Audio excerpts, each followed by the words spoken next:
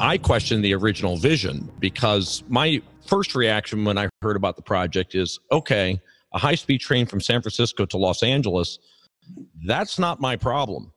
I don't have a problem getting to San Francisco. I get there quite easily and quite cheaply and quite quickly on Southwest Airlines. My Mhm. problem is getting to work. So let's kind of start in the beginning, the original vision of this. What problem was it really solving? Uh, well, you had a lot of affluent uh, Californians who vacation in Europe, and when they're in Europe, they take a bullet train and they think, "Oh, this is cool. I would like to have this in California." And really, I, it, it sounds amazing, but I was talking with the Democratic Club uh, a couple years ago, and I asked how many people support, uh, how many people have been to Europe or uh, Japan and ridden your the ridden the bullet train, and like half the hands went up. And I said, "How many of you voted for it because you'd like to see that here?" And they all went. All the hands went up at the same time. So I think that people people who are tourists in Europe, uh, which clearly not the working class, middle class people in California, went there and saw it, and they they thought this is something we should have here. And the offer was, well, we could get between San Francisco and LA in two hours and 20 minutes. That was the uh, requirement in the Bond Act. And uh, I don't know that anybody really did enough analysis of over how hard that would be, you know, financially to achieve, um, technically, um, socially, politically, legally. All those things um, were became much more difficult because of that speed requirement. hmm So the concern over large governments, um, large government projects, has kind of borne out to be correct because this project has turned turned out to go uh, figuratively off the rails with the explosion of the cost estimates um, and the fact that it doesn't even look like the high speed is going to be able to be achieved. It's gone off the rails because the cost has spiraled up. So you have to ask, well, has the cost spiraled up because they underestimated what it was going to cost in any case, or have they mismanaged it uh, over the last half dozen years? And I think clearly they underestimated it at the very outset. Um, just one or two examples, if you would like to know. Originally, they estimated the land acquisitions in the Central Valley would cost $330 million, roughly. Today, it's budgeted as at 1.5 billion.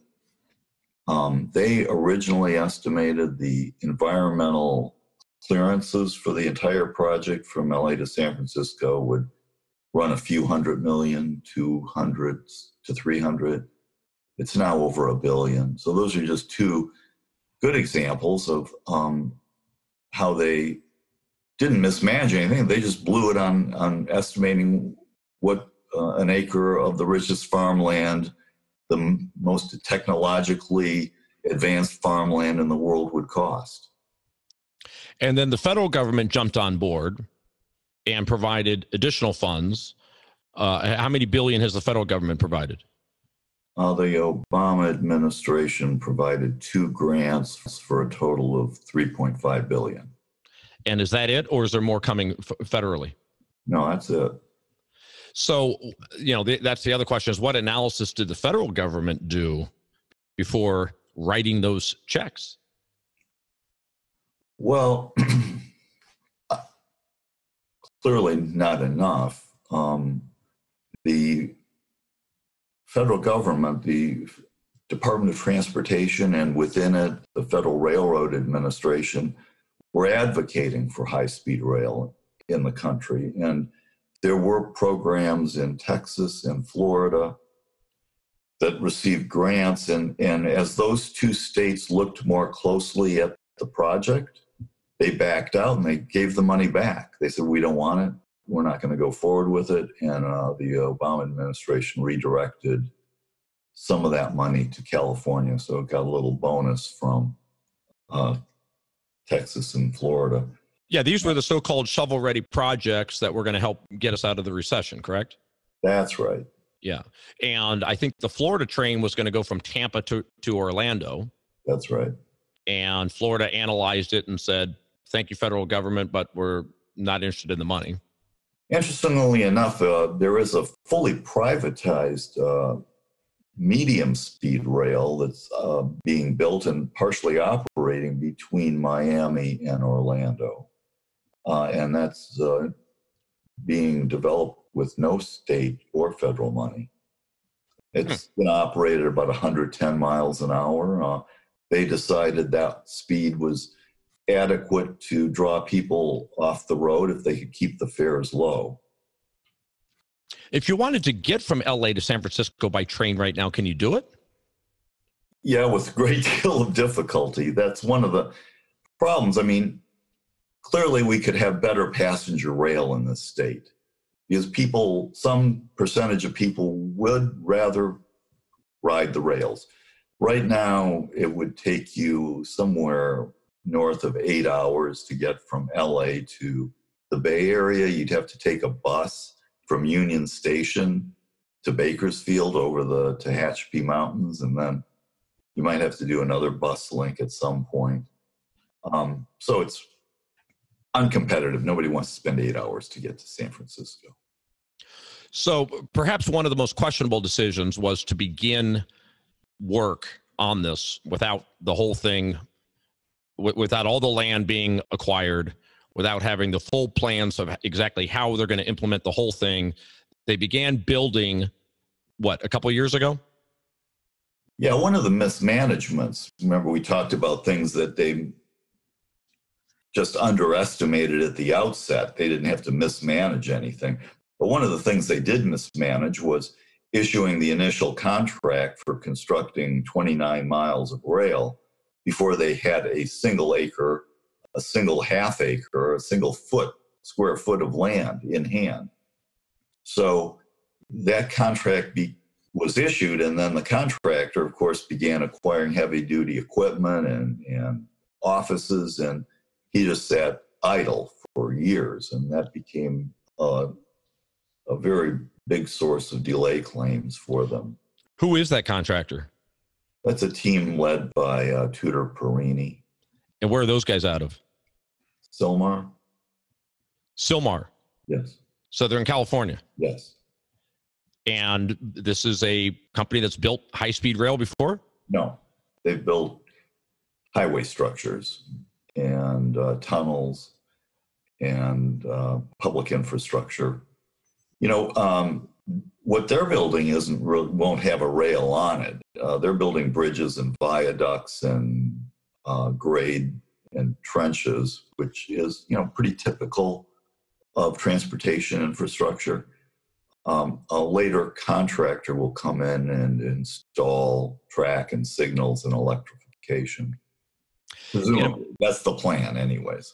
And am I right that that got approved, that initial 27 mile stretch, because they needed to commence construction by a certain deadline to get the federal money?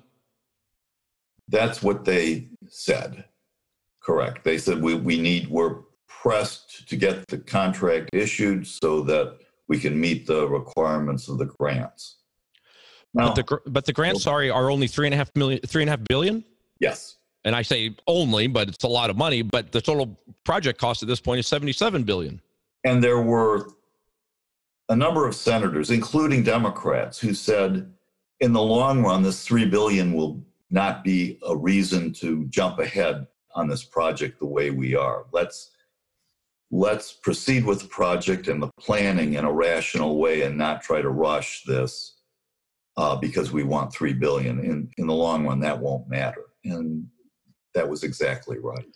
And, and, then I also go back to the federal government, though, and you just wonder what kind of checks the federal government has. Why, why didn't they see right through this and say, wait a minute, you guys aren't ready to begin building this thing? We're not going to give you this three and a half billion dollars.